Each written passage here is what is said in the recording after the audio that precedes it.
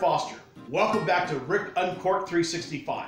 Well, I hope you're enjoying my YouTube channel where I taste a different wine or champagne each day for 365 days throughout 2020. Now, today we have a unique Chardonnay. I was researching some female winemakers and I came across the Cambria Estate Winery.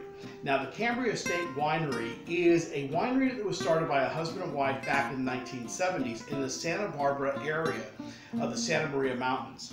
Now, now today, the winery is run by the two daughters, the Jackson's um, daughters, and this is by Katherine Jackson. This is uh, named for her. It's called Katherine Chardonnay. The winery is run by the two daughters, the mother, and a female winemaker. Now, what is unique is they have 1,400 acres, and they let each, like five or six acres, they allot to different, you know, uh, wines, different growths.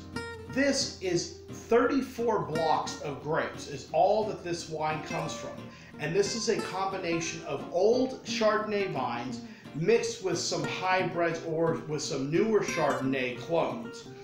It's 100% oak aged. It's aged in French oak barrels. Now, the Santa Barbara region where this is um, grown is known for being a very cold climate area of California. It's very close to the coast as opposed to Napa or Sonoma and it has more of a shelf type uh, topography. So it is um, got a little bit of the sandstone, the limestone, um, as well as some shale, some of the um, prehistoric or petrified uh, seashells. So it makes the ground very granular and it's very very shallow. So the, the grapevines don't have to dig too far into the soil to absorb the water. What makes it nice is it gives it a very nice natural runoff for the um, you know for the water and the irrigation.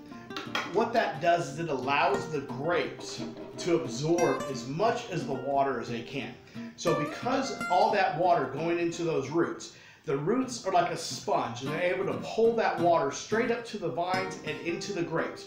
So these grapes tend to be a lot more fruit forward, a lot richer, sometimes a little sweeter.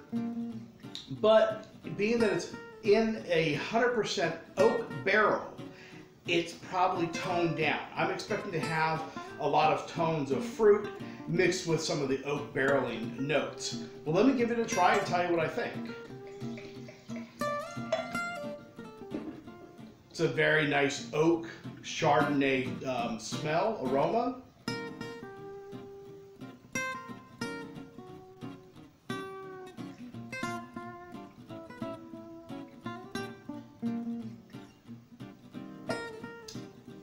Well, that is a traditional standard French oak barrel um, fermented Chardonnay.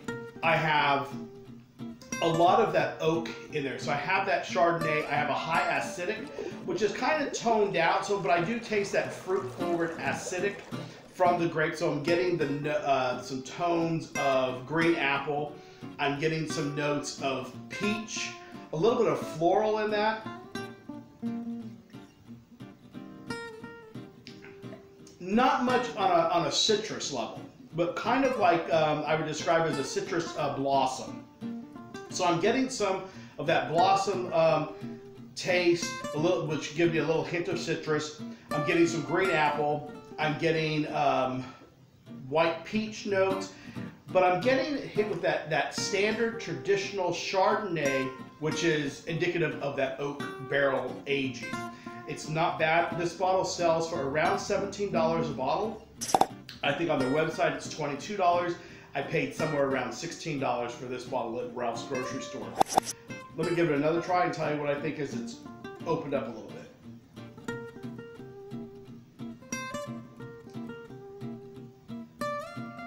Yeah, after after a minute of that breathing, it's kind of opened up a little bit. A little bit of that acidic has has neutralized. The alcohol has has you know, neutralized as well. So I'm able to taste a little bit more of that fruit. I'm getting almost a hint of pineapple, but again, the green apple mixed with the oak um, barrel.